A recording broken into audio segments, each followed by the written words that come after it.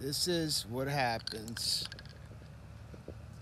for days. I have lakefront, waterfront,